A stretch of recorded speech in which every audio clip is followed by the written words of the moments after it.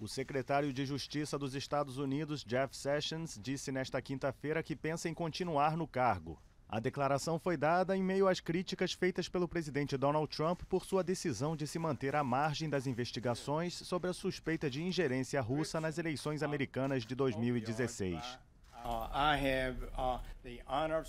Tenho a honra de servir como secretário de Justiça. É algo que supera qualquer aspiração que eu possa ter tido. Nós amamos este trabalho, amamos este ministério. Penso em continuar fazendo isso por quanto tempo for adequado.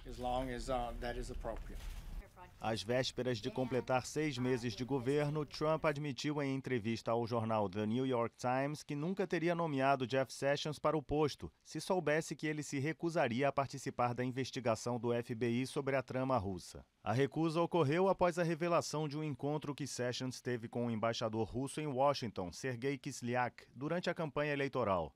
Há vários meses, Trump enfrenta uma série de revelações sobre um possível complô entre membros de sua equipe de campanha e funcionários russos para denegrir a imagem da então oponente do republicano, a democrata Hillary Clinton, na corrida presidencial. Hoje, investigações sobre o caso russo estão em curso no FBI e no Congresso.